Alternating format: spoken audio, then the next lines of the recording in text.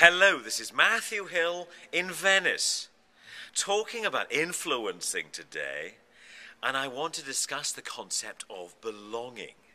What group is powerful enough that you really want to belong? So, the kind people of Venice coalesce together to fight the common enemy of the rising salty sea which threatens their existence and their town itself. What is their common purpose and their common motivation? It is to provide pizzas, smiles, and coffee to the hordes of tourists, of one of which is me.